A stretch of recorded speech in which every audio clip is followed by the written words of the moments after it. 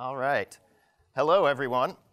I am going to be talking to you about uh, Bayesian optimization, and will sort of run the gamut uh, over Bayesian optimization. I'll talk about some of the, um, some, some sort of basics and then get into some more extensions and things like that. And what I'm hoping is that this is going to be a sort of lightning whirlwind tour of Bayesian optimization. Um, I'm going to go over as much uh, that I can, um, and hopefully by the end of this, you will be able to pick up uh, any paper on Bayesian optimization and be able to read it, understand it, know what's going on uh, with no problem. So I've set myself up for success there. Um, okay. Okay. Oh, just decided it wanted to not listen to me for a while. So, okay, so the outline of what I'm going to do is first I'm going to give sort of a brief introduction of the problem we're trying to solve, the sort of black box optimization problem we're interested in solving. Um, and then the next two sections are going to be dealing with sort of the uh, meat of Bayesian optimization. So building a model of the objective function that we're uh, uh, interested in optimizing.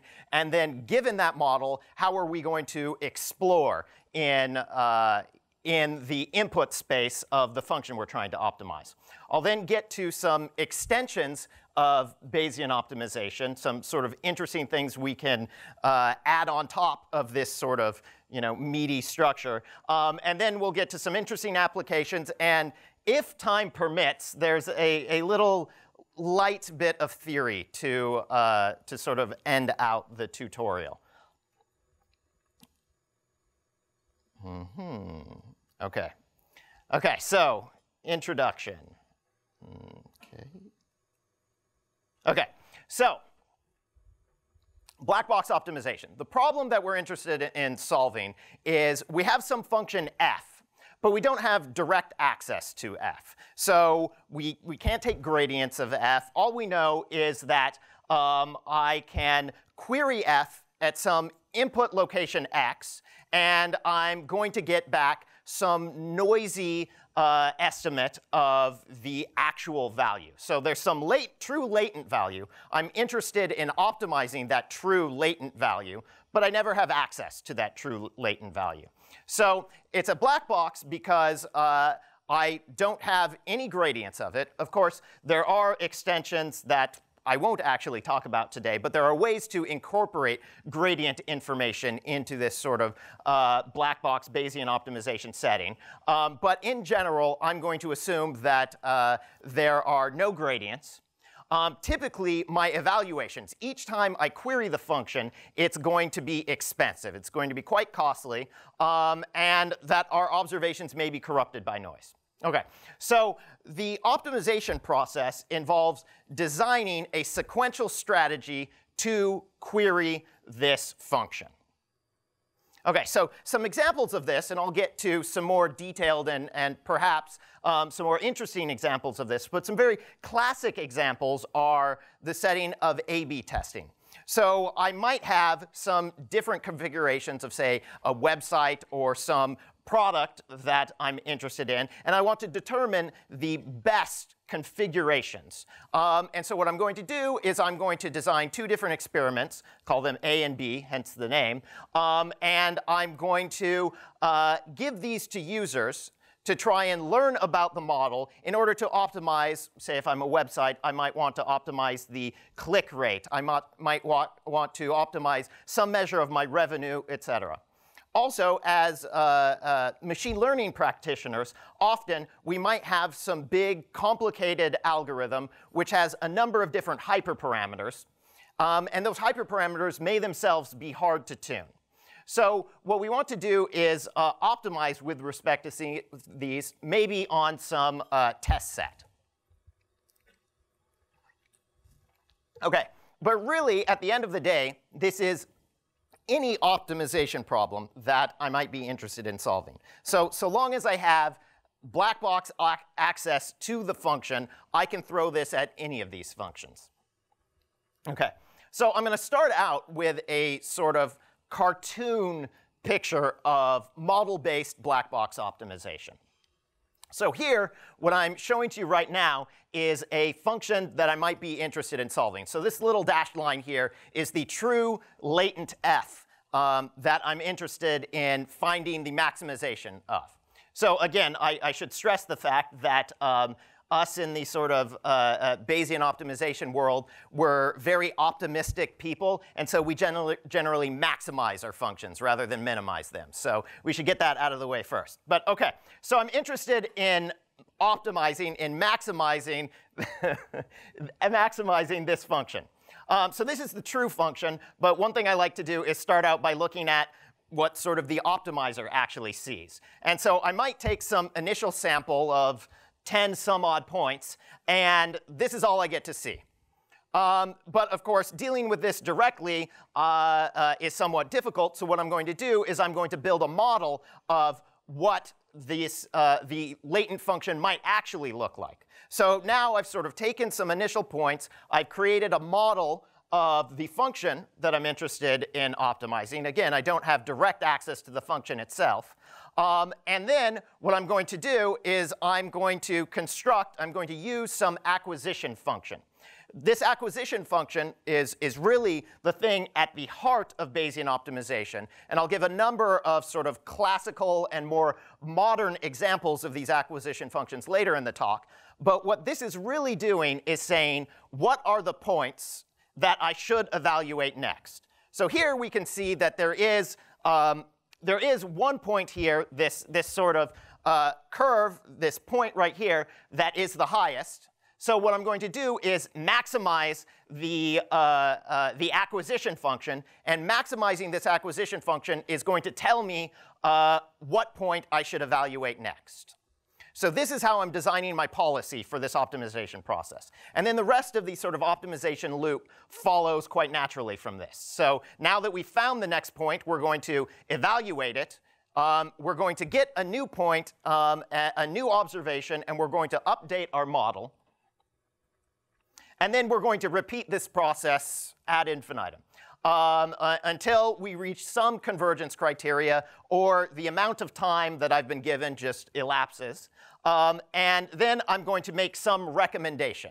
So the recommendation, which I will mostly not talk about uh, uh, during this talk, but uh, it is sort of a crucial part of this algorithm. It's really the thing that once I get to the end of optimization, it is what I should give to the user to say this is your best point.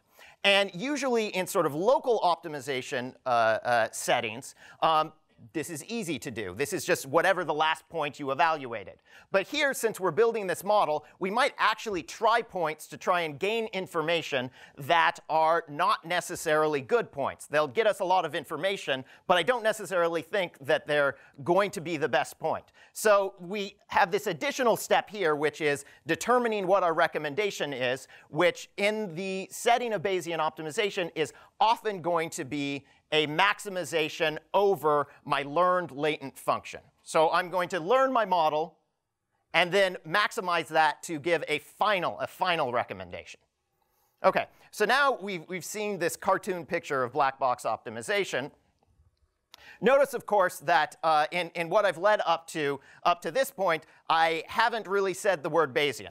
So there's an entire class of, of uh, models and problems uh, that I will touch upon briefly at the uh, end of this talk, which use sort of non-Bayesian approaches to uh, build uh, this sort of model. So if we consider a function which is only defined over finite indices, so I really have only point mass evaluations that say points 1 through 5, and I might be able to say that my, my noisy observation process, rather than being Gaussian, uh, is Bernoulli.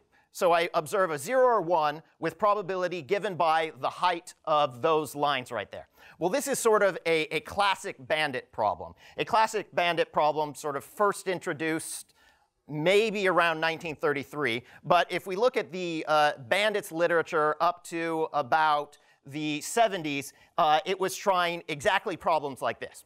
So this is the same sort of problem that I'm interested in solving in Bayesian optimization, this sort of bandit problem where I can query points and get back a noisy observation. However, there's also this tendency to lump these things together with what, what I would say are bandit algorithms, which make use of frequentist bounds over my model to, uh, of the unknown function and use these sort of frequentist bounds to uh, derive their own sort of novel acquisition strategies. So, um, and there's actually quite a bit of interplay, especially if you go about trying to prove, say, regret bounds about these algorithms. Um, and they, they end up, the more you look into it, they end up looking very, very similar. But that being said, I am going to focus on this talk in building Bayesian models of the underlying function that I'm trying to optimize. Okay. So again, um, in the spirit of connecting with other areas of research, um, another area that is quite closely related is the sort of more general problem, I would say, of reinforcement learning. So Bayesian optimization, like a bandit problem, is in some sense a simplified reinforcement learning problem. So uh, essentially, there is no state.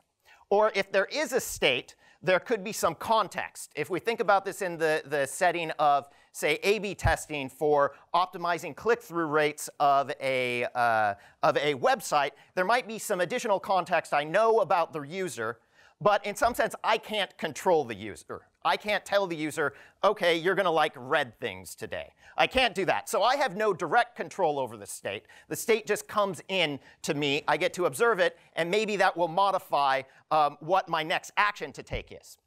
However, the, the one sort of central thing in both reinforcement learning and uh, bandit-based approaches and Bayesian optimization is this sort of exploration-exploitation trade-off.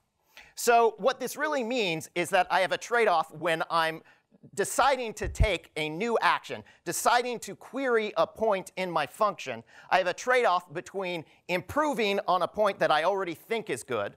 So perhaps I would only do a small, I would only move a small epsilon away from my previously best point um, or I can evaluate entirely new points in underexplored areas. So the first point is really the, the sort of idea of exploitation. I want to exploit the current set of knowledge that I have. And the second point is whether I do exploration, whether I go to entirely underserved areas of, of my function landscape. So, and there's this, this trade-off between how I want to go about this in order to gain the most information as I can about not only the function, but about the maximum of the function. So another key difference with sort of uh, some parts of RL, and especially bandits, is that often in Bayesian optimization, it's in the name, we're interested in optimization.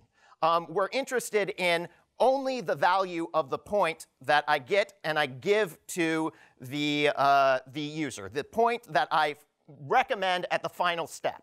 So in the bandits literature, this is often referred to as a pure exploration or simple regret minimization problem, as opposed to the sort of more commonly um, used sort of uh, analysis mechanism, which is the cumulative regret. Whereas uh, in that setting, I would be judged by all of the function values that uh, I, I tried along the way. So the difference between this is really that in sort of the cumulative setting, I might say um, I would stick my hand on a, a hot burner, I would decide, ow, that really hurt. I'm never going to try that again. Whereas the sort of more explorative uh, method would say, well, OK, I tried that once, but maybe I should do it again just to make sure. So you're sort of able to get more information when uh, you are able to go back to points that you think might be bad, but you really want to confirm that they're bad. Um, and we'll come back to this. You can see some of this in the analysis that I'll show later. OK, so uh, to give a high-level overview, um, we can also look at sort of the axes of black box optimization. And really, I, I, I, sort of describe these sort of algorithms on uh, sort of three axes here. We have sort of the performance metric that we're interested in looking at, whether we're looking at things offline or online in the uh, uh, cumulative or simple regret setting. The modeling technique, which is the uh, uh, x-axis here, whether I'm using Bayesian or frequentist models, and then sort of the z-axis, which is how my different points that I might evaluate interact. Whether they are independent, where looking at one point gives me no information about other points, or whether they're correlated in some way. And typically, we can see that sort of classically, Bayesian optimization is on uh, one corner of uh, this, uh, this sort of cube here, and sort of the bandits literature is on the other corner of this cube. Now that's a bit of a gross simplification, and, and definitely over the years, these two sets of literatures have, have interacted much more. And we can see that uh, there, I'm not going to go over all of these, well, actually, some of these techniques I'll, I'll, go over in a little bit. But most of the areas of this cube have sort of been filled out uh, over the years. Um, and some of them are mainly related to analysis. Some of these points of the cube are actually developing strange and wonderful new algorithms some of which I will talk about. But okay, now that we've sort of taken a look at sort of a high-level overview of uh, Bayesian optimization and how it sort of interacts with bandits, um, we can ask two primary questions. And those two primary questions are, first, what is the model that I'm going to use? What is the, the mechanism by which I'm going to model my latent function? And then given that model, what is the exploration strategy that I'm going to use to query novel points uh, within the input space? Okay, so first step, let's talk about modeling. So the simplest answer, and this is pretty much the answer you would get if you did a cursory glance of the Bayesian optimization literature, is to use a Gaussian process. Um, and maybe this sort of answer, uh, well, I don't even think maybe. This is probably too glib of an answer. Um, the literature, I think, probably focuses too much on, uh, on Gaussian processes, which, in fact, by the way, I am going to do for pretty much the rest of this talk, because I am also part of the problem. Um, but uh, the nice thing about Gaussian processes is they give a really nice mechanism for modeling nice continuous functions, which are what we're often looking at. Um, and they're very general, and the math is very pretty.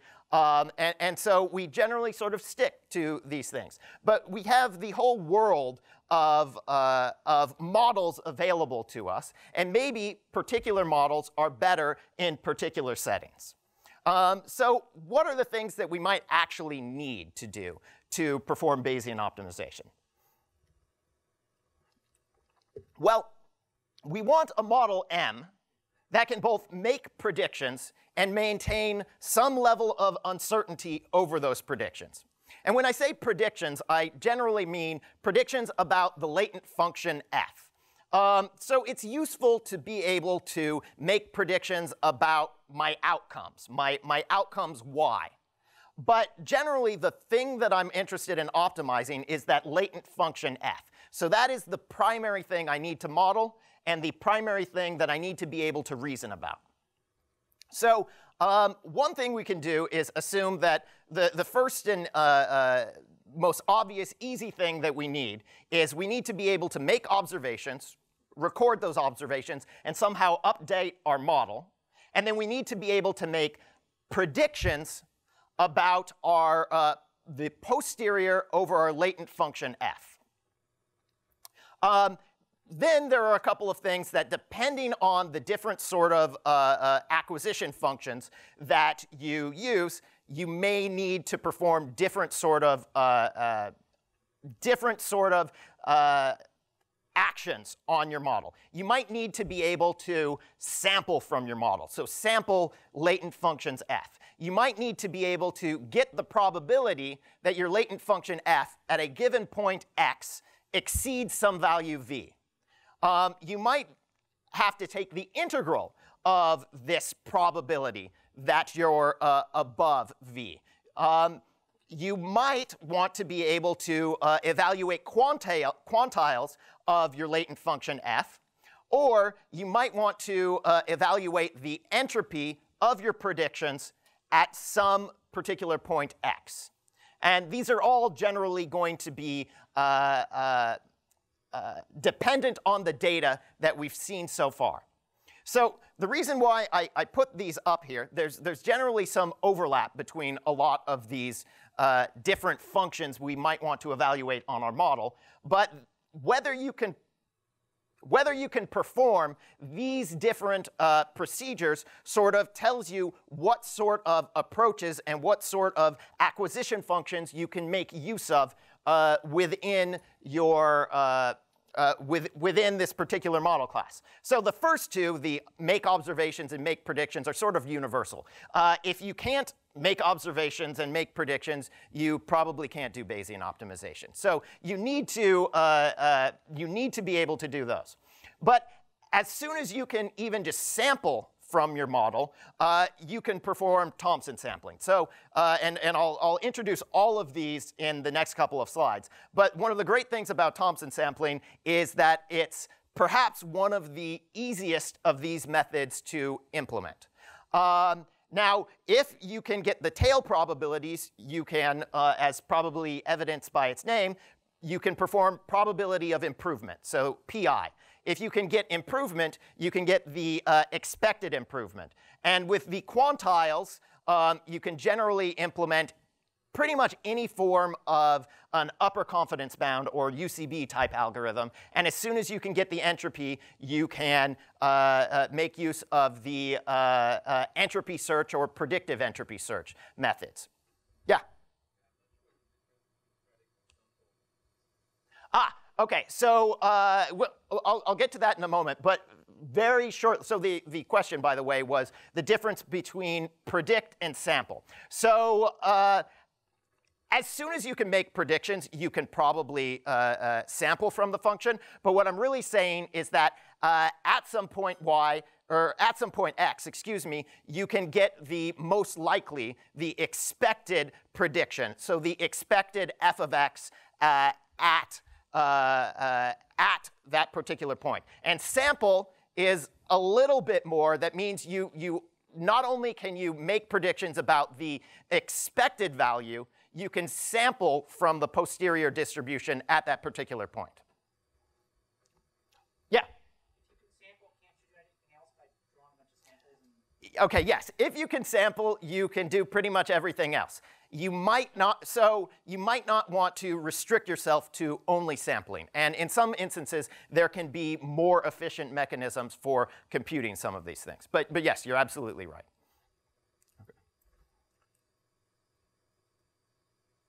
Okay. Okay, so that being said, um, again, I'm, I'm part of the problem.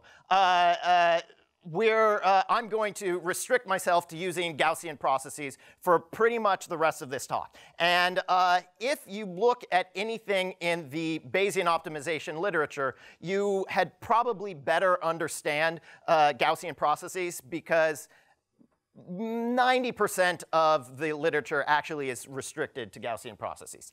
It need not be but that's just the way the world works. Um, okay, so generally, uh, what is nice about Gaussian processes? They provide us a flexible model of continuous functions that we're generally going to work with when we're uh, performing Bayesian optimization. Uh, although you can also restrict them to, say, a, a, finite set of points, and then it's even easier because then you just have a single multivariate Gaussian distribution. Okay, so what it looks like when we're looking at functions, this is uh, using a, a, simple squared exponential kernel here that just controls sort of the smoothness of the function. I'm going to give just a very, very brief overview of Gaussian processes. Um, but what ends up happening is you end up with something that looks like a prior over functions. And what I've shown here in the, the sort of dark blue line on the left is my mean, the mean of my prior, and the bands are giving the the uh, standard error uh, of this prior. And then what I've done is I've drawn three different samples from this Gaussian process prior. So this particular form of prior gets me sort of nice, smoothly varying uh, functions. But now what I can do is I can condition on some functions evaluations shown on the uh, other side here on the right um, with these sort of dark crosses. And what we see is that those uh, uh, evaluations constrain my model to be within uh, uh, some region of where we actually made those observations. There's also a noise model, which is, in, in the, for the purposes of this talk, I'm going to assume that our observation model is Gaussian, which can sort of control how much you clamp down the variance once you've observed a point. But again, many of these models can be replaced. This is just sort of the simplest way to start with. Okay, so the basics of Gaussian processes is that we have a finite, if we have any finite collection of input points x, I can talk about the distribution of my function evaluated at those input points x, and that using a zero mean Gaussian process, so that's where the zero comes from here, um, that is going to be just a simple multivariate Gaussian distribution. Okay, so we have a nice, simple uh, Gaussian distribution where the covariance between any two points is given by this kernel function k. Okay, so if we do that, again, I, I said that uh, I can, uh, any finite collection of input points uh, is going to be given by a multivariate Gaussian distribution. So what I can now consider is uh, I have a set of noisy observations that, that came from my function. I'm going to collect this into some vector y. And then we can form the joint distribution between uh, my function f at some arbitrary new point x and the set of variables that I observed y. Okay, well, for that new point x, we can then condition only on the observations y. And doing a little bit of linear algebra, we get a new Gaussian process, our posterior Gaussian process, which has a mean given by that, that first equation there, and a variance given by that second equation there. So again, this is just a, a little bit of, of linear algebra. You can find a good overview of this in um, uh, Carl Rasmussen's book on Gaussian processes. However, the main key point to observe, and we'll come back to this when we talk about some of the extensions of Bayesian optimization, is that the main difficulty here is that matrix inversion right there. So that is what's going to be expensive when we do Bayesian optimization with Gaussian processes. Uh, now, in the setting where my function evaluations are really quite expensive, like maybe I have to go out into the real world and perform some chemistry experiment in order to get back observations, and that's going to take on the orders of 10 minutes to 30 minutes to hours to days. This little matrix uh, uh, inversion here is not going to make a difference. But once we start playing with the, uh, the cost of my function evaluations. Once my function evaluations get uh, less costly to perform, that's one of the instances where I am going to want to seriously consider replacing this with some sort of lighter model. Okay, so now that I've uh, assumed that I'm using a Gaussian process, let's talk about some of the exploration strategies that uh, I can use. Hopefully that goes away. Okay. So some of the exploration strategies I can use that are dependent on my model. And so the first thing I'm going to point out is that I'll first give these uh, uh, different uh, these different strategies independent of the particular model, and then I'll simplify them for uh, a Gaussian process. Um, okay. So the first thing to point out, however, before I, I, I give a few examples, is that what I really want is an exploration strategy which is a policy which maps from my model, perhaps my model and my data, if it's some, uh, it may be uh, uh, nicer to think of these as two separate entities.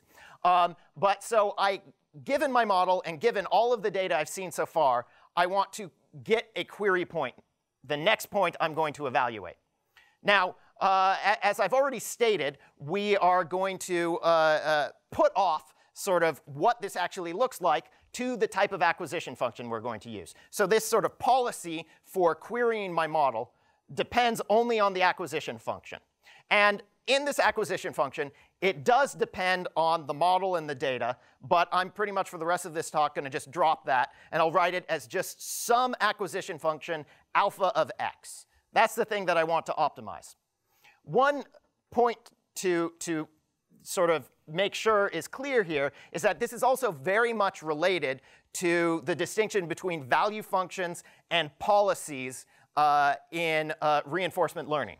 So in some sense, the alpha, the acquisition function, is my value function. Or, and in fact, there is a way to sort of and that I'll, I'll describe in, I believe, the next slide, to give the optimal value for this value function under certain uh, uh, circumstances. I could actually compute the optimal value function, and then I have the optimal policy. As you might guess, there's a reason why this field exists, because that optimal value is way too expensive to compute in practice, but the idea is that most of the acquisition functions we introduce are going to be very much related to this idea of the future value of a point. Okay, so I said earlier that, that uh, this is sort of an RL problem with no state. That's actually not quite true. Um, if we look at things in the online setting, um, it's actually a partially observable MDP. And so if you want to think about it as an MDP, for those of you who are uh, well-versed in reinforcement learning, um, there actually is a state. It's sort of the information state. You can think about this as a state describing what my distribution is over the possible values. So we could actually formulate it in this way um, the, uh, the state transition model that I have for this Markov decision process ends up being the straight state transition model that you get from performing the Bayesian updates. Um, and then you could solve this. However, the problem is that solving this control problem is quite intractable in general. In the best case, when I only have a finite number of uh, uh, finite number of points to evaluate, I only want to evaluate my function at some uh, set of uh, discrete finite points, then the best case complexity for computing this optimal policy is the time horizon multiplied by the number of states squared. Um, this also, I say this is in the best case because this also assumes that the evaluations are independent once you break any of these tenets, the uh, complexity of computing this optimal policy skyrockets.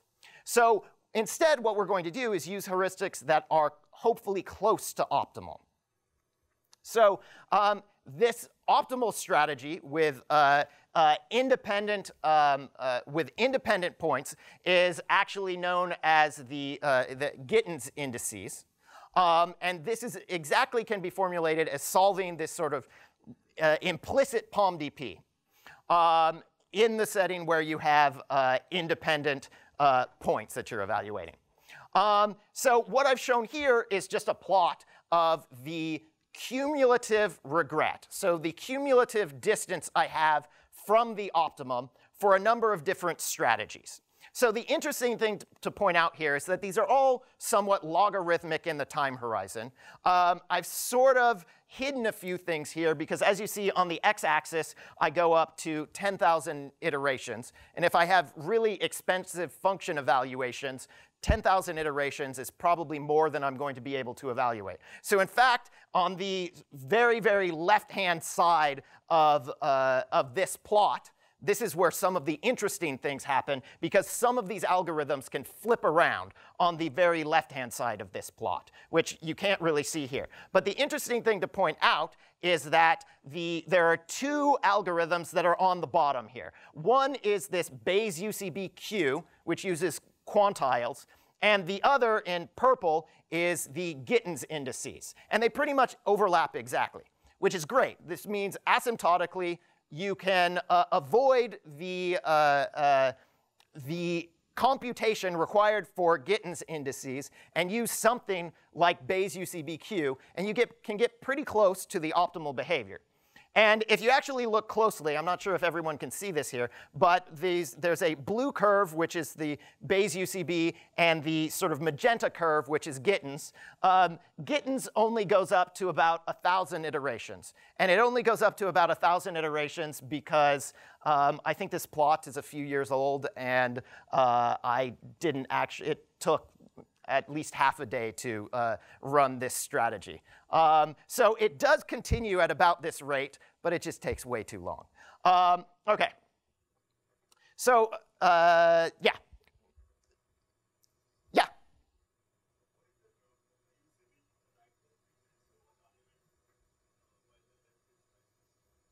Uh, so what I'm actually doing here between these two plots, um, the that one makes uh, so that these are three different uh, uh, implementations of UCB. That one um, makes a few different assumptions, um, and as we skyrocket the number of um, arms, that one just has more variance. Um, and so if I use many more samples, that, that would smooth out. But the variance goes up, and here I'm not plotting the variance, but the variance of this method sort of goes up as you add more arms. As you add more arms, and, and where arms are uh, uh, generally what we refer to as these sort of finite locations that we're going to evaluate at. Okay. Okay. So one last sort of uh, high-level intuition on exploration versus exploitation.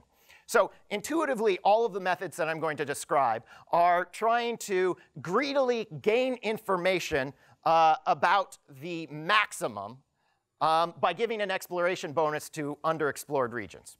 So in fact, this, this ties quite nicely with the tutorial we heard uh, just a moment ago, um, which was talking about learning about the function f. So there you're trying to gain information about what the function f is doing. Whereas in, in the uh, setting of Bayesian optimization, bandits, et cetera, we don't really care about learning about the function. The only reason we care about learning about the function is in how much it helps us to find the optimum. Um, so uh, we design these acquisition strategies and they are going to be myopic with respect to these acquisition strategies. But again, as I pointed out in the last slide, uh, these acquisition strategies are attempting to be close to the sort of optimal value function. So, and the optimal value function already contains all of the information you need in order to explore. So just to point out where these, uh, uh, where these differences lie, so one thing I could do if I wanted to be sort of purely explorative is I could just pay attention to the variance in my model. I could just try and optimize for the point that is expected to uh, reduce my variance in the quickest way. So in a Gaussian process with a, a, squared exponential kernel that I've just talked about, this is going to end up being this point that I've labeled right here, which uh, is the point with the highest variance. Um, but if I wanted to be purely exploitative, I might just stick to the point, the point on the far right-hand side, which is the best thing that I've seen so far. I could be slightly less exploitative in moving just a small distance away. But the thing to point out is that I can also take a look at what the value of this sort of exploitative action would be and look at all of the mass that exists for my function above this cutoff point. Um, and sort of the various mechanisms I'm going to introduce are trying to really look at different ways of evaluating how much either probability mass or how much value there is above this line right here. Um, and so one thing we're going to do is we're going to introduce this um, sort of F star, which is the value of my incumbent, which is just the best thing I've seen so far. Um, generally, this is going to be sort of the expected value of the best thing because my model will generally have noise. Okay, so now we're going to introduce these acquisition functions, and I'm not really, I'm not going to show you sort of plots like I showed you in the previous slide of how these methods compare. Because I, I think that at least at this level, that is too dependent on the particular model we're interested in uh, optimizing. And everyone here is probably going to have different models they're interested in optimizing. Um, and the time horizon you're interested in optimizing, uh, things like that. So all of these models that I'm going to introduce, I mean, so certainly there are bad models um, that, that you could use. Um, it's somewhat difficult to come up with bad models, especially when something like random search actually doesn't perform that badly. Um, the models I will, or the mechanisms I will talk about right now are generally better than random search, uh, but they have their sort of different uses. And I'll, I'll sort of describe what those are. Um, and they sometimes make different assumptions, and some of them you may want to prove something about them, and it can be easier or harder in different, uh, it, with different acquisition functions. Okay, so the first one, um, which is historically probably the uh, uh, second acquisition function that was really used widely, although the first one wasn't really rediscovered until 2000 something. Um, the first one that we're going to talk about is the probability of improvement. So this is just really saying, given my latent function f, given that random variable, which with a Gaussian process is going to be just a Gaussian, what is the probability that it exceeds the value of my incumbent, given the data that I've seen so far? So with a Gaussian process, this can be evaluated very, very simply. This is just the standard, eh, standard normal CDF. The standard normal CDF evaluated at this shifted and rescaled sort of standardized Gaussian. So we're really just saying what is the uh, CDF to say that we improve over the incumbent value f. So, and this is going to be our acquisition function. This alpha of x, this is our first acquisition function. Now, if you decide to leave the talk, you can go implement at least some uh, Bayesian optimization mechanism, and it will probably work reasonably well. Um, OK, so what this is actually doing pictorially here, the horizontal line that I've drawn here uh, is the latent value at the uh, at x star. This this thing on the right. This is f of x star is f star, um, and so just integrated the probability of mass of being above this value.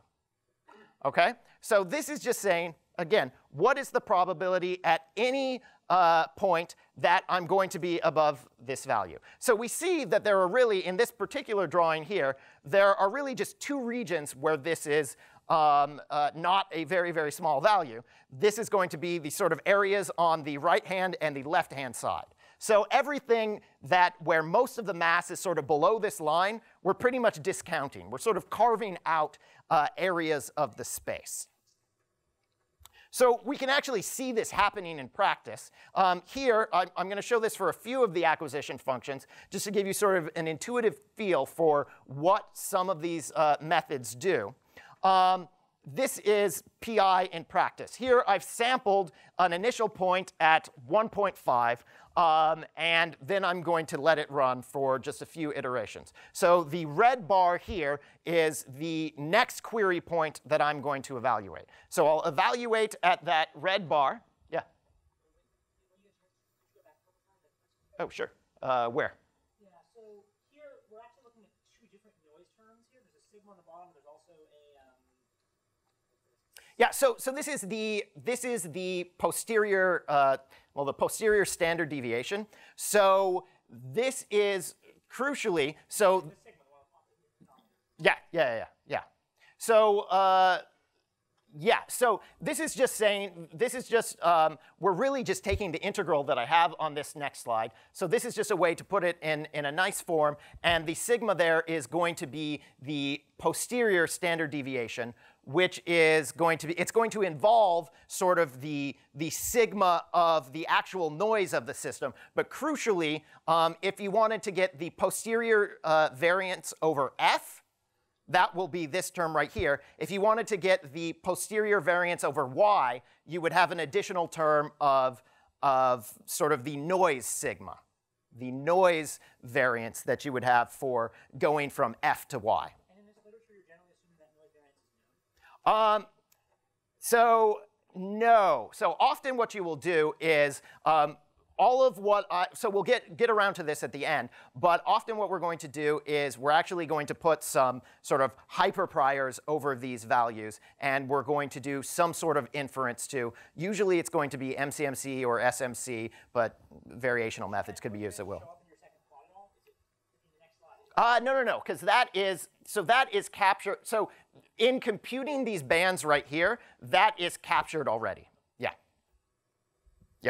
So here I'm showing basically the same thing as the last couple of slides, and we're just going to step through a few steps of this happening. Um, and we're going to evaluate at the red bar at, I think it's at 0.8, somewhere around there. So we're going to evaluate there. Uh, and here I've stepped ahead like five steps. And we see that um, we've, we've shrank down our variance and moved our mean at a couple of different points. And so we can step along for a few steps. And what you see is that generally uh, the probability of improvement metric here is going to give you this very sort of difficult to uh, optimize procedure.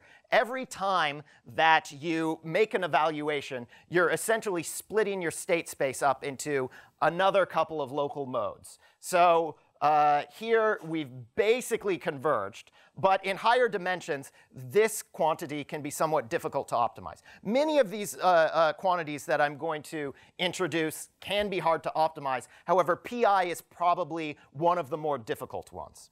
Um, now, what is a problem with it? Well, we're really looking at the probability of improvement. So with the probability of improvement, um, there's a uh, chance that high candidates candidates with, uh, where the acquisition are high are very likely to be very close to the current incumbent. Because what are points that are most likely to improve? Well, there are points that are probably very close to whatever my current best point is. So what that really means is that this uh, acquisition function can often be very greedy.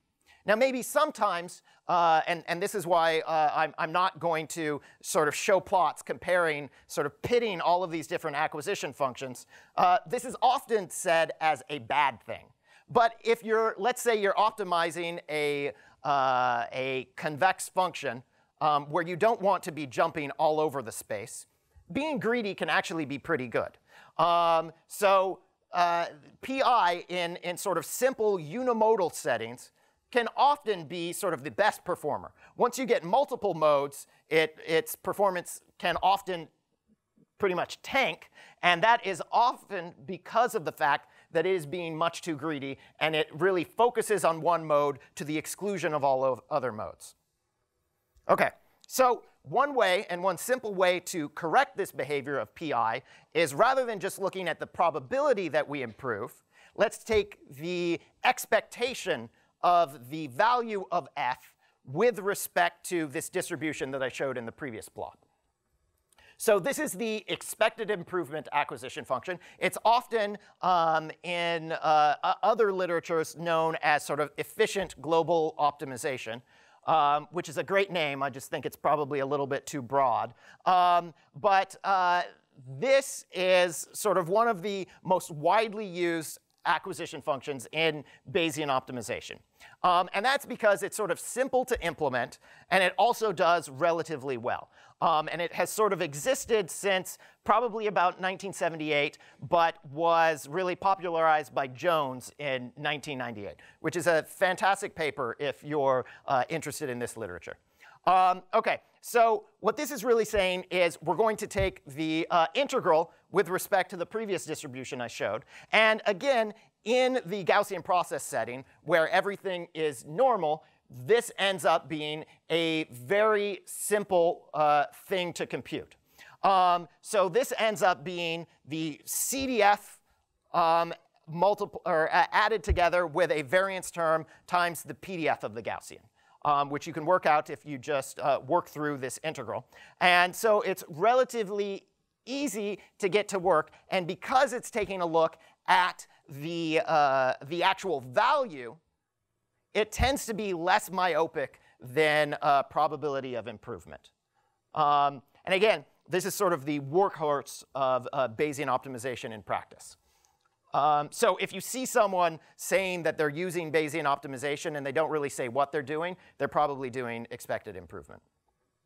Okay, so in practice, we can sort of go through a, a similar scheme as before and see what this looks like. Um, and I'll step through a few steps here. And what we see is you get a function that's a little bit easier to optimize, um, but it also, as we get closer and closer to the optimum, it pretty much just plateaus out. Um, and you've probably looked at most of the space and nothing is really all that distinguishable. So this can also become, yeah. Um, oh, yes, yes. Uh, so here, often what we, uh, uh, what we do is we specify uh, a, a, a, a, hypercube around where we're actually trying to optimize. Um, because generally, so this is not necessary, but when we're using a Gaussian process, often what's going to happen is we're going to use very sort of local kernels. Um, and so we'll say that around the points that I've evaluated, uh, things, are, uh, things look quite good. Um, and we're, we're reducing the variance quite a bit. So we've pretty much converged at this point, once we get to this point. But if you look outside of these bounds that I've showed you right here, the variance will skyrocket back up, and because you don't know anything about those spaces, so if you were to take most of these acquisition functions, or just really think about it logically, you really should be moving outside of the space if there are no constraints. Um, so there is actually some work by um, Bobak uh, Shahriari, um, who has worked on attacking this problem by basically starting with a, a sort of small hypercube and slowly growing it over time. So you're, you're less constrained to really know what a good hypercube is to begin with. Um, so OK, this is uh, ex the expected improvement metric. Again, uh, sort of the most widely used. Um, I would say one of the second most popular uh, uh, methods is probably the GPUCB method in Bayesian optimization, but also this really comes from uh, the bandit literature. So uh, the, the, this work right here is really a combination of the sort of traditional Bayesian optimization ideas with more uh, sort of uh, standard methods in, uh, in bandits optimization, but now applied to these sort of continuous spaces that we're working with.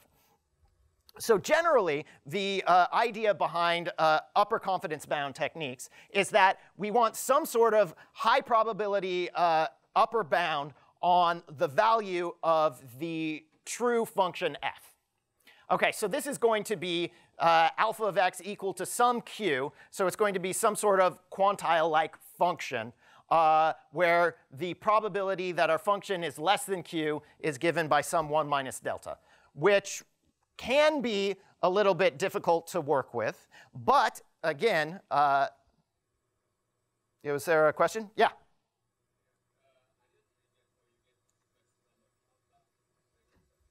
Uh, what?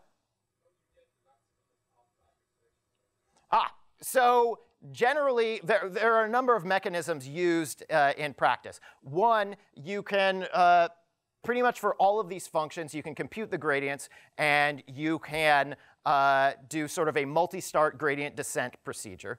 Uh, again, uh, this is um, this is not stochastic gradient descent, so we can, uh, you know, we can actually do line search and things like that. Or there are a number of methods that uh, were used for a number of years, but have probably sort of fallen out of favor nowadays, um, which are based on sort of divided rectangles, more sort of classical uh, global optimization work, um, uh, which sort of is based on sort of evaluating and updating a, a sort of Lipschitz-like constant for the function you're trying to optimize. Yeah?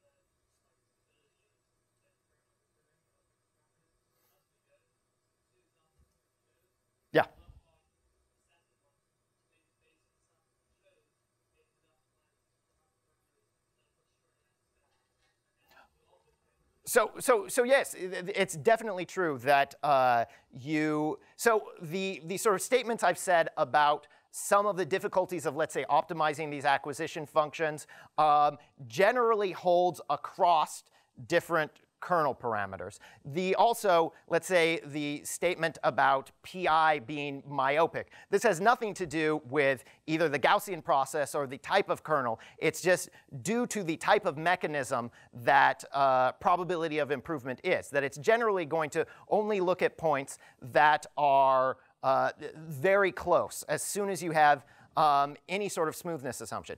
But it is true, and, and we'll, we'll talk about a little bit later, uh, how you get some of these uh, hyperparameters when using Bayesian optimization with uh, Gaussian processes. Um, but uh, most of these, like these, these sort of hold across different sets of hyperparameters, I would say. Yeah.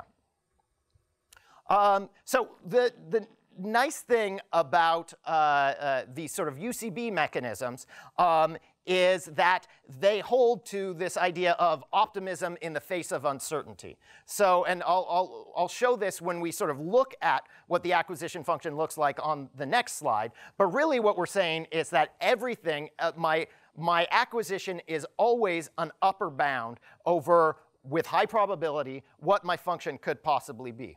And this leads to some sort of nice interpretability of the acquisition function, but it also leads to the ability to prove nice convergence bounds about this particular algorithm uh, which we, is much more difficult with things like uh, probability of improvement and expected improvement. Although there, there are some uh, actual convergence results for expected improvement. I believe with probability of improvement, you're mostly stuck with it will converge eventually. You have no sort of rates of convergence for probability of improvement. Um, so again, what UCB looks like in practice is you get this sort of result where uh, all of the, uh, the, the acquisition function that we're looking at is generally going to be some sort of multiple of my mean plus the variance. So it's always upper bounding my, sort by construction, always upper bounding the, uh, the, function, the function that we're looking at. And so this will sort of shrink down and eventually get to be something like this. So another one that's, that's particularly uh, interesting um, is Thompson sampling. So I'll show how to do this with Gaussian processes in uh, the next slide. Uh, but um, this is perhaps one of the uh, methods that is much easier to implement for pretty much everything but a Gaussian process. So really what we want to do is we want to be able to sample a function f from our posterior and then maximize this function f. So if uh, x is just a, a, a uh, evaluated at a finite set of points, um, this is probably the simplest thing we've introduced so far. All we have to do is sample from our model, which again, if we're only looking at a finite set of points, this is going to be just a simple vector f. Um, and then we just have to take the argmax of it. That's it.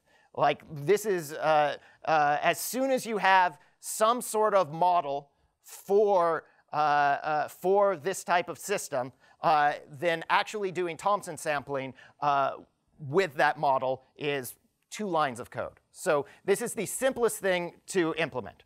Again, for Gaussian processes, this is somewhat more difficult because now f is not a finite dimensional thing. f is infinite dimensional. So we can instead approximate this in a number of ways. One particular way is we can approximate it with a random set of Fourier features and then optimize uh, over the input space there. Um, and so this is what this sort of really looks like, is you uh, take draw, you could take multiple draws from the procedure. Thompson sampling actually just says take one draw from the posterior, um, and then the actual histogram for what that thing you're sampling looks like uh, is the uh, thing on the right here. Um, so that will give us the, the sort of X star, sampled X star, in areas where we have a high probability of being optimal. So what this looks like in practice is now this is just at every iteration we sample a random function from our posterior and maximize this. So actually Thompson sampling does uh, a much better job of sort of not getting stuck in sort of local optima.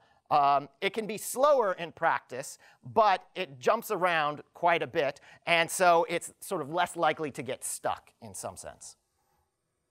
Okay, so now I'm going to take a slight diversion into uh, uh, function learning. So let's say that I was interested only in learning the function f. I don't, now I, I I've uh, thrown away everything I've said before, and all I care about is learning the function f and not maximizing the function f.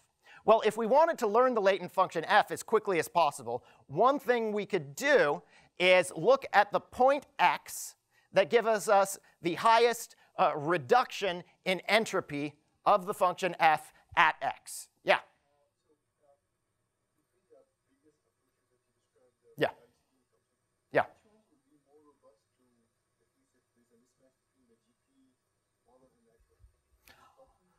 Um, I would say Thompson sampling might be, would, would probably be a bit more robust, but all of, all of the methods I've, I've stated so far, all of the methods are pretty much as good as their model. Um, if your model is wrong, um, and it is excluding areas, uh, it, so in fact, one thing I would say is, and, and we'll get to this in a bit, if your model is drastically uh, overfitting to the data you've seen so far, none of these methods are going to work. Um, and so uh, this is especially true when we talk about, as was brought up earlier, the hyperparameters of your Gaussian process. Um, this is something that you generally want to make sure that, for example, you do a good job of representing as well uncertainty in the hyperparameters. Because if, for example, the length scale of the squared exponential kernel uh, drops too quickly, um, then you, you will be making completely spurious predictions and you can get premature convergence. So this is something that either you want to sample from these, maintain this posterior over these hyperparameters, or sort of regularize them heavily um, when you initially start optimizing them. Yeah. Yeah. Yeah. Yeah.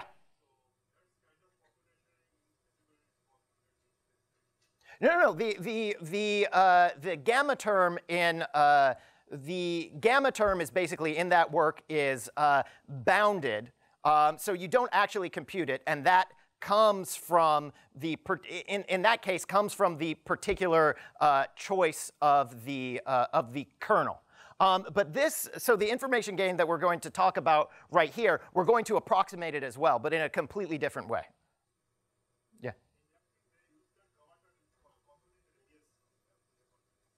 Yeah. So uh, we're, we're, so we're again we're going to uh, approximate the information gain here, but as I'll also show in the next slide, we're going to uh, approximate it in a in a fairly different way. Yeah. Yeah.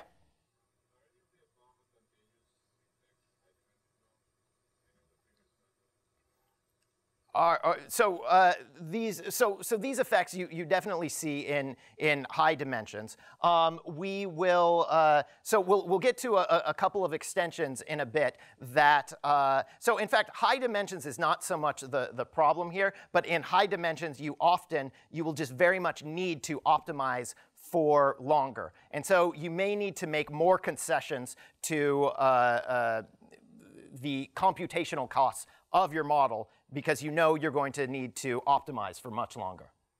Yeah. Um, okay. So, uh, so here, what I'm saying is, so one thing that we can do is we can look at the reduction of, of entropy um, in the uh, Gaussian process that uh, I'm, I'm looking, or the, the model that I'm looking to optimize. Okay, so in the, uh, in the GP case, so again, where I'm only interested in fitting my function f, this corresponds exactly to selecting the point with the highest variance. Um, so again, when I'm just trying to learn the function f. So this is really the fully explorative policy noted earlier. But now we can take exactly this same principle and uh, go back to the setting where rather than learning the function f, I'm interested in, in some sense, learning uh, where the maximizer of f is. And so we can express this in exactly the same way, but now my random variable is no longer the function f, but is the location of the maximizer x. And so I can uh, uh, add an additional term, which is just the uh, inherent uh, entropy of that variable before I query a new point. And the reason why I've added that in is because now we're just looking at the mutual information between the query point at x and the random variable given by the maximizer x star. Okay, so this first, uh, this first quantity is difficult to approximate. But the second really only concerns the predictive distributions of my uh, distribution. And so the first term is called uh, entropy search. The second is predictive entropy search, or PES. Um, and so this is how uh, uh, this is generally, well, this is one way to approximate this acquisition function. So we have these two terms, the entropy of uh, my random variable y and the expectation of uh, the random variable y under the, uh, under the location of x star. So we can approximate this using uh, Monte Carlo. And what we really end up with is, again, we can compute, in the Gaussian case, the entropy of some random variable y just ends up being the log variance of that Gaussian random variable.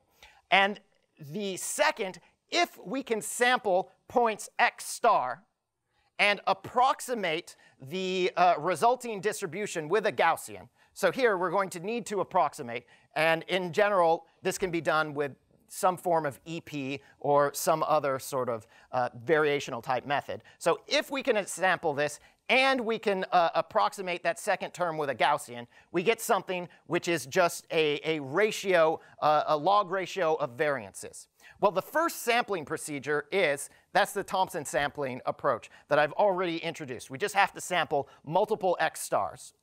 And then the second we is, is just another approximation we will perform using uh, expectation propagation. And so rather than go into more detail about what this looks like, we can really look at what the, um, uh, what the acquisition function needs to compute. So here I've shown for just one simple sample of x star, the blue curve that is sort of in the background is the Gaussian process before conditioning on x star, located at the red dashed line.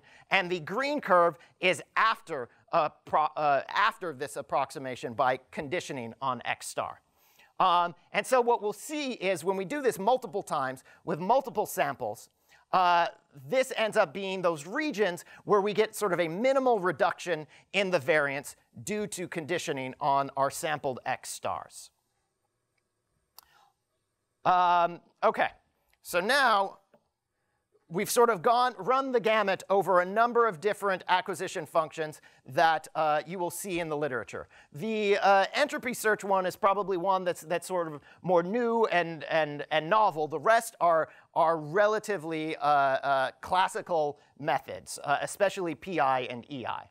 But now, what are some additional things that uh, we can do with these methods? Well, first, we've already sort of talked about this uh, in, in a number of different ways, but uh, I have sort of brushed aside the case of hyperparameters for the uh, Gaussian process kernel, but we might be interested in any other model that has additional hyperparameters. And so one thing that uh, was sort of often thought of with Gaussian processes, I, th I, think basically this belief has thankfully died out, is that Gaussian processes can't overfit.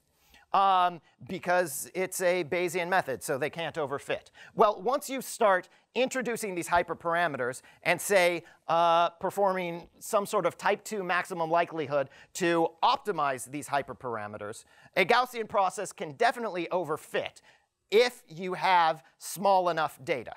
And Bayesian optimization, when it starts, will generally have very little data relative to the dimension of the, uh, uh, of the thing that we're trying to fit, of the function space f. So we really should not optimize these hyperparameters. So if, if you think about doing that, well, first ask yourself, should I really be doing this? Um, and then consider that either you should very much, as, as I mentioned earlier, sample these hyperparameters or highly regularize these hyperparameters early on in the optimization procedure so that they don't overfit. In some sense, overfitting of the function f is the worst possible thing that can happen for Bayesian optimization. Because most of the methods that we're interested in rely on a great calibrated model would be the best thing that we could hope for. The second best thing we could hope for is something that at least overestimates our uncertainty. If we overestimate our uncertainty, we can still see that there are regions of high uncertainty. We'll get naturally drawn to those regions, and we'll eventually uh, uh, draw the uncertainty down, and that will also lead us to build a better model of our function f. But the worst thing is if we overfit, if we under, uh, underestimate the, uh, the uncertainty either in certain regions or everywhere, that's generally going to cause us to prematurely converge to a point. And then since Bayesian optimization is based primarily on using the uncertainty to direct its optimization, we'll never go anywhere again. So the, the entire procedure can, can fail if we do this. So again, um, this is sort of a, a somewhat small point, but it's definitely one that's not to be overlooked. We, mu we must sample these things and make sure that we don't underestimate our uncertainty. Okay, so this was another point that was uh, brought up. Um, in, in the case of high dimensional data, um, you may need to run uh, uh, long trajectories, long sets of queries through our model. Um, and even if we don't have high dimensional data, but perhaps it's very noisy. Perhaps our data is very noisy and we need to let our optimiz optimization run for a large number of steps. Um, the cost of inverting the matrix um, in a Gaussian process can then start to hit us. Um, so classical approaches around this include using sparse Gaussian processes and other sort, uh, uh, such approximations. Another sort of strong contender, um, and Frank Hutter um, has been doing a lot of great work here, uh, is to, uh, and has for a while, is to use random forests to, uh, to fit these models. Um, However, again, and this ties with the, the same sort of point I made about hyperparameters, care must be taken that the uncertainty estimates are sort of accurate away from the data. Um, so here what I've shown on the bottom, and this comes from work from uh, uh, uh, a, a, sort of review paper from Bobak Shahriari and, and others. Um, here we show the uh, exact Gaussian process, a sparse Gaussian process approximation, um, a Fourier features approximation, and a random forest. And what we see is that sort of the exact GP and the sparse GP, if the sparse GP is sort of well set up, can naturally capture sort of the, uh, uh, the uncertainty of the model. And it sort of, it actually does what you would expect as you go further away from the data. However, the, uh, the random Fourier features approach, um, because it is using these sort of random features that interact in sort of strange ways, far away from the data, you can get strange oscillations in your uncertainty. And this can cause you to sort of get distracted by spurious features and can perhaps cause premature convergence, but can often just take away from the speed of the algorithm. And similarly, you can see these things happen with random forests if you get leaves of the forest that have few to no data in them. Okay, another approach that is particularly interesting and is uh, starting to uh, get sort of more interest in both the Bayesian optimization community as well as sort of interactions with Bayesian optimization um, and uh, other type approaches are sort of replacing the, uh, uh, replacing the Gaussian process with something like either a noisy neural network or some neural network-based feature representation for some sort of a uh, Bayesian model. So in uh, 2015, uh, Jasper Snoek and colleagues replaced the Gaussian process uh, in uh, the sort of standard mechanism I've introduced earlier with the expected improvement metric. Replace this with a Bayesian linear model with learned features. However, um, these features were learned uh, using a neural network trained on data. However, they really targeted this sort of high data regime, which could either be in the case, um, I believe they also did some relatively high dimensional uh, settings. But the main thing to point out here is that there was a lot of data. So I believe uh, the linear features here were also pre-trained, um, which, which actually uh, uh, raises some interesting connections between this talk and the previous talk. Um, and it was uh, also, uh, there were additional parameters that were then sampled around the Bayesian linear model so as to not underestimate the uncertainty. This model still involves a matrix inverse, but it's of size d, which is the feature dimension, rather than n. So as n goes either, well, as it goes to infinity, but especially as it gets into uh, the uh, 10,000 to a million uh, uh, observation setting, doing something in d rather than n is vastly going to help you. However, one thing to point out is that uh, so they had this neural network representation for their features.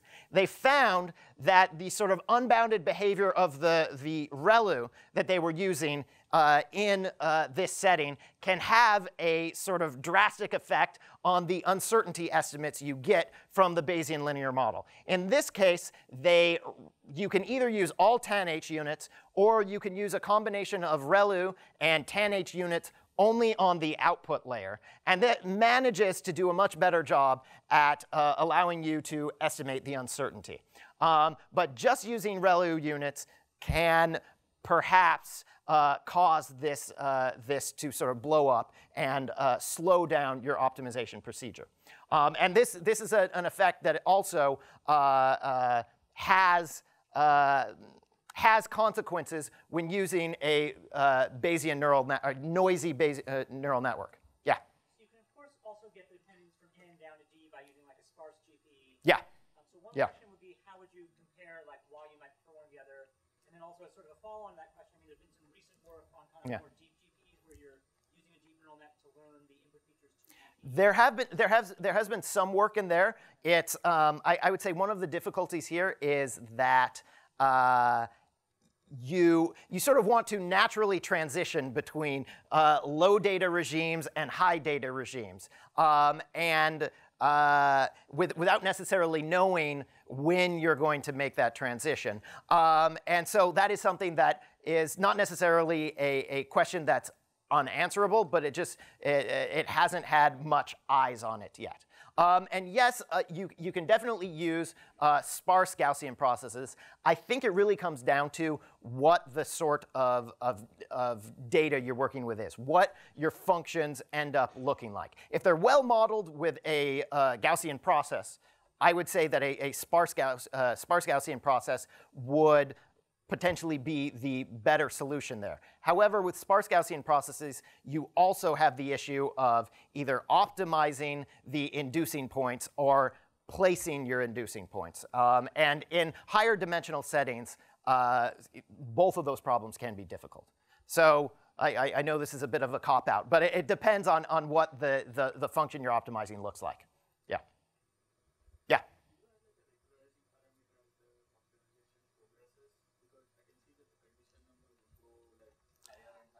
So there is a so there is naturally if you if you assume sort of uh, a uh, Gaussian observation model, there is a sort of natural regularization parameter, and in practice, people will tend to uh, uh, you know sort of fudge this factor a little bit higher uh, just to make sure that it is that it is uh, you know not close to singular or anything like that.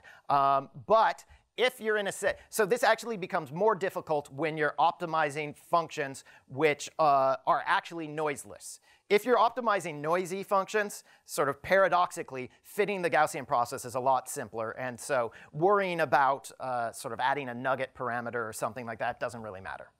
Yeah. OK. Um, so an, an, another sort of very interesting extension and one that is becoming more and more necessary um, is sort of uh, parallel Bayesian optimization. So in practice, we can often run many experiments or many queries in parallel, um, but care must be taken not to query the same point m times. From an information theoretic perspective, uh, especially when you have some sort of regularity in your data. If you were just going to query the same point m different times, you're really wasting a lot of your capacity for gaining new information. Um, so really, this is, this is something that's uh, wasteful. So you could say, OK, we've got these nice acquisition functions. Let's do something like try and find the optimal set of m points that we could allocate um, in order to query this, uh, the, the, the function. However, actually performing this sort of optimal allocation is itself computationally intractable. Therefore, uh, recently, uh, a number of approaches have been taken. Um, I've highlighted a, a, few of them there. Um, I think this one from, I think the second one there uh, from Desautels uh, et al. is, is particularly interesting.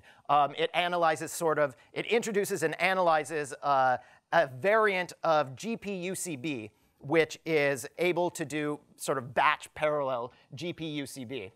And in that setting, you essentially, the first iteration you can see as using your standard, let's say, uh, EI or UCB uh, acquisition function.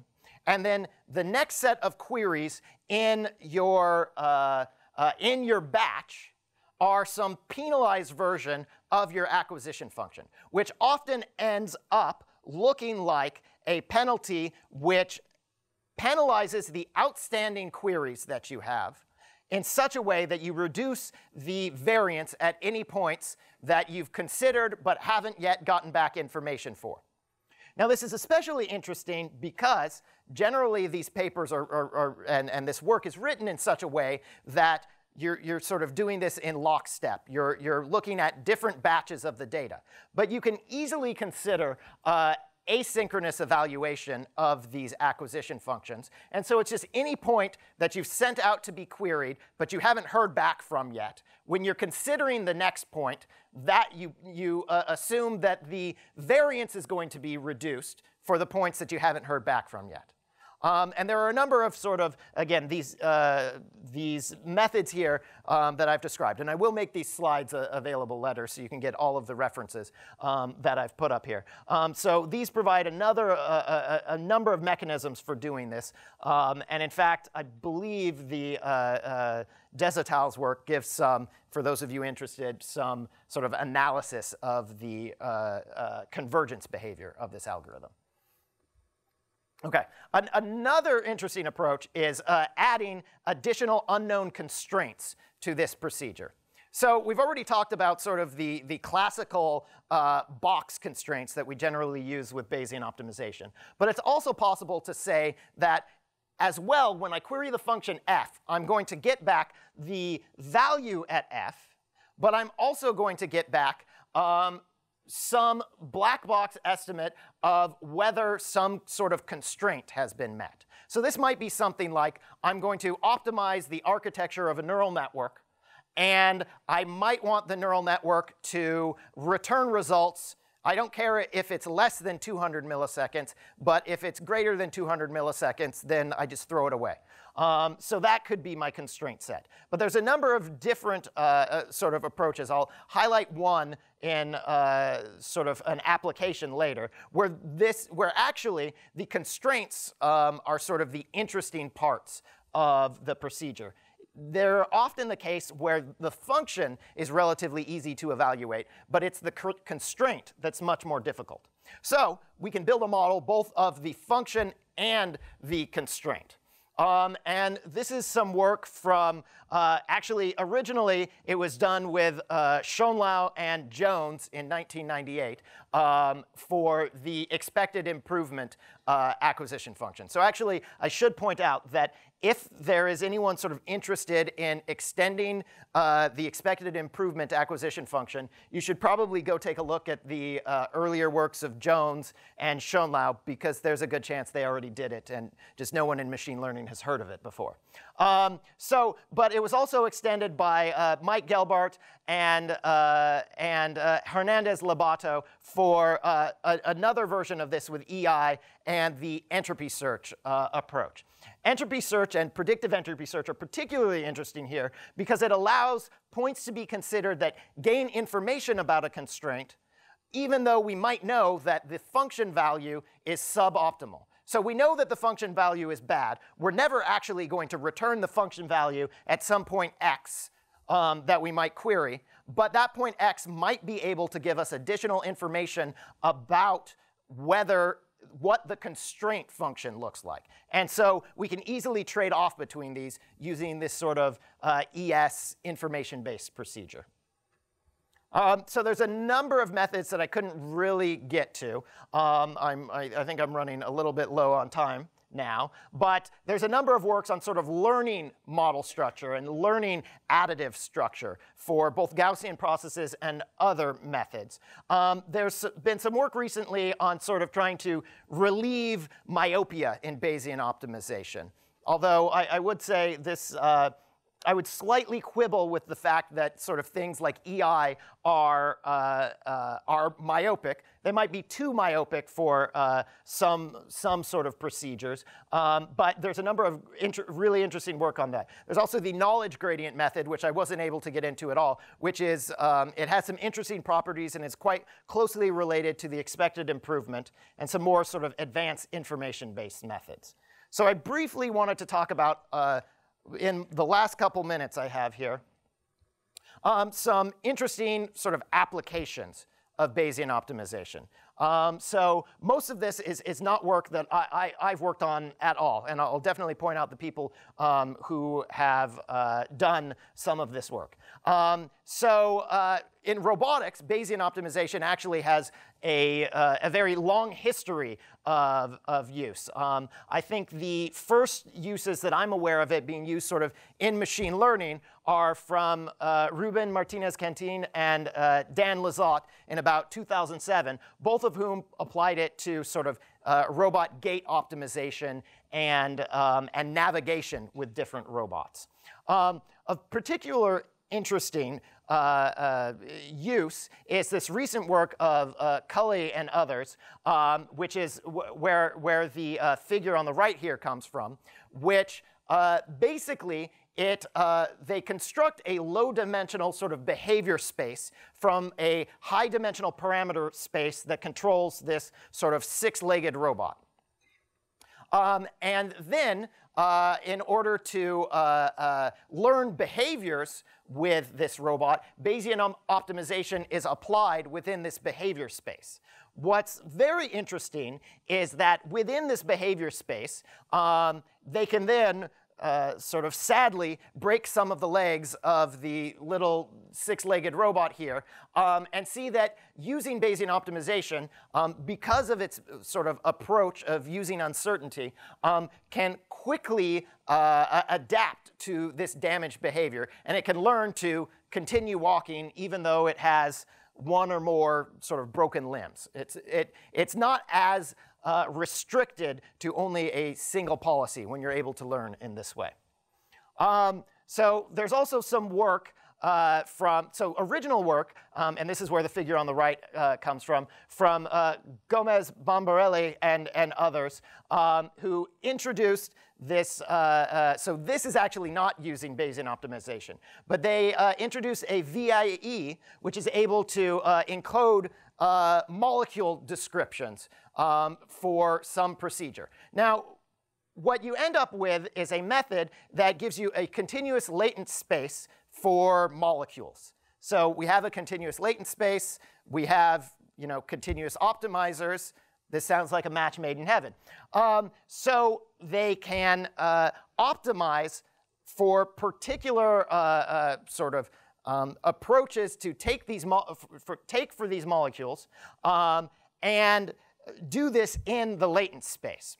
However, you can see here on the right with this approach, they used a very sort of local search type approach. They basically used a genetic algorithm for doing this. And one of the reasons they explain behind this is because that often you will have uh, sort of very local regions in this continuous um, this continuous optimization space.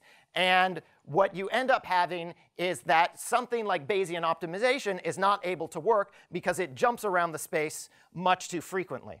So in fact, one potential approach to fix this was introduced by uh, Griffiths and I believe Hernandez Lobato in uh, uh, 2017, which introduced a constrained expected improvement procedure where the constraints handle the validation process of these molecules. So you will, you will consider querying some molecules, and then you won't actually query it uh, in the real world because of the fact that um, it's, it's not actually a valid molecule that could be constructed. So then you go back to the uh, continuous space and continue optimizing there.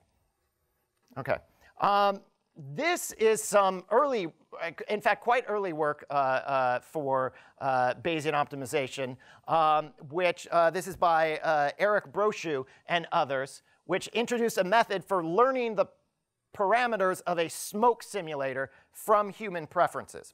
One of the interesting things about this particular model is that now um, whereas before, I talked pretty much about Gaussian processes with, uh, with um, Gaussian likelihoods. So the observation model that I have is a Gaussian. Here, the observation model is not a Gaussian in any way, shape, or form.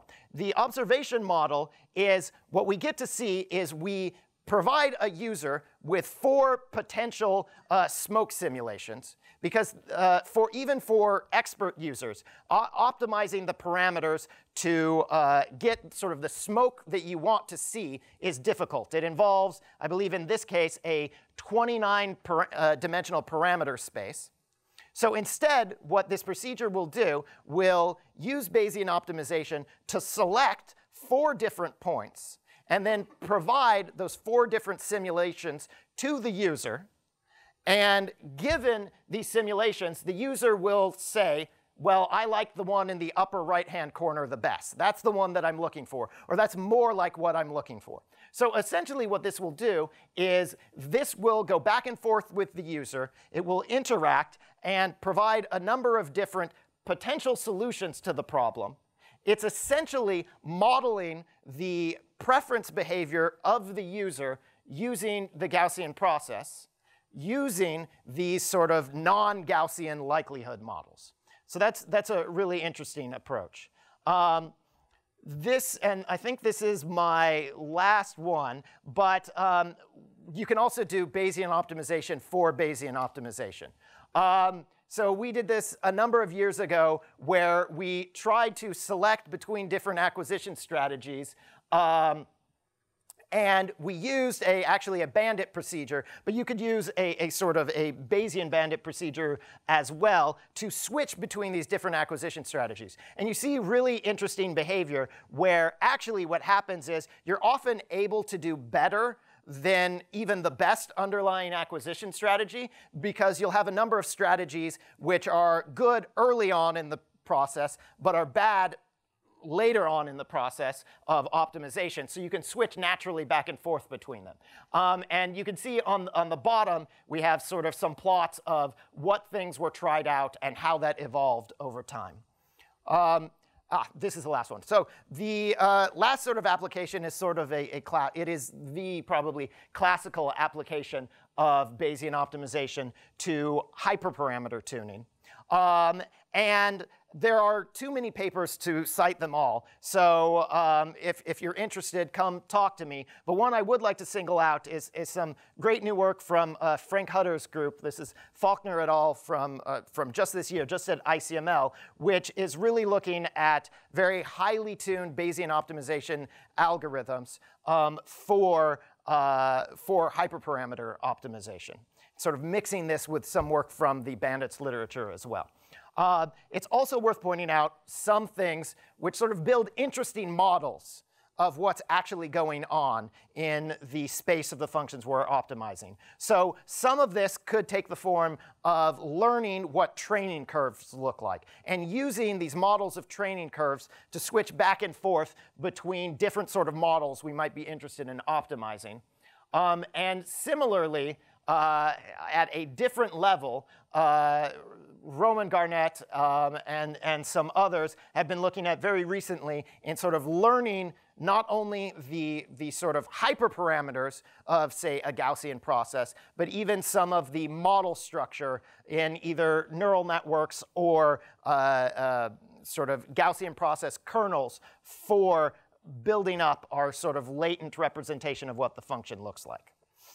So I believe we, so I, I, I, was hoping to get to this. I think we're uh, about out of time here, so I'm going to skip over this section. But definitely come talk to me later, and I can, I can give you some pointers to sort of the theoretical uh, underpinnings of some of these methods. So I'll skip to the end. There's only a few slides there, so I can even walk you through in person. But thank you um, for having me, and I can answer any questions if anyone still has them.